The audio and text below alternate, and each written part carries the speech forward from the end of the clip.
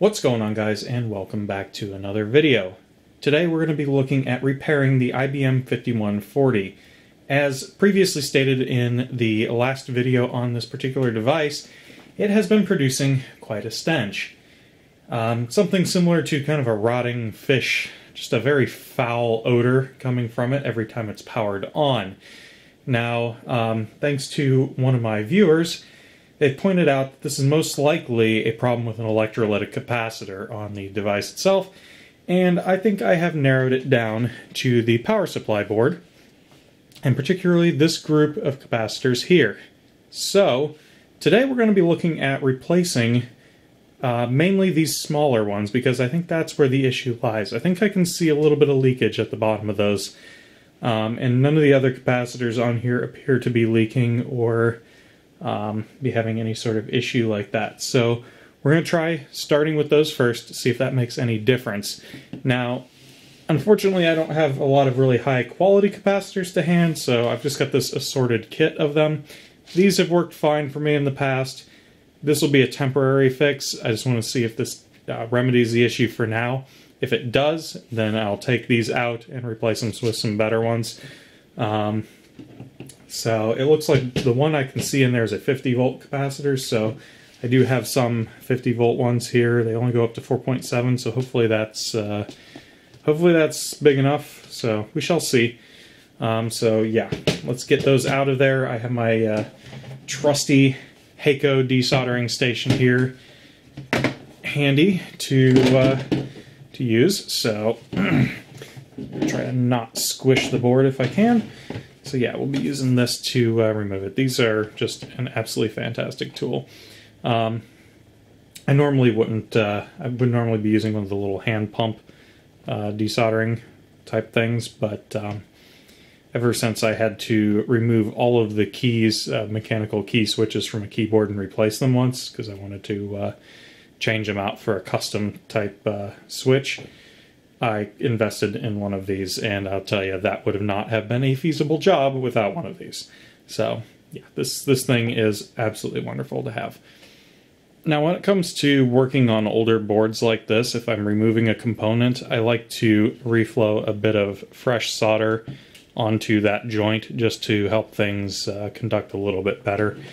Um, plus, it mixes with whatever this junk is and um, just helps it melt a little bit more evenly. So I believe these two pins here are the ones that we're going to have to remove. So I'm going to get in here and flow a little bit of solder on here, being careful not to burn my plastic table. Now I'm soldering with a desoldering gun, so that's uh, not normally what you would do, but it works, so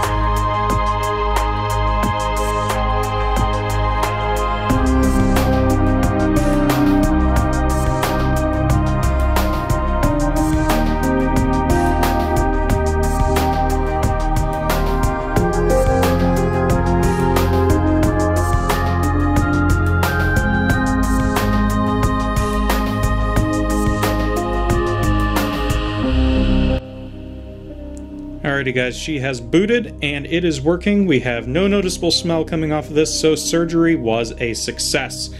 Um, if you guys like this kind of content, don't forget to like, comment, subscribe. All that stuff is fantastic. I love hearing from you guys.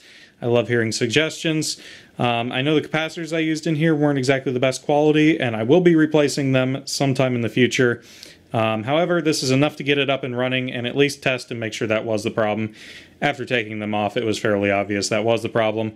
But, alright guys, I will see you in the next video.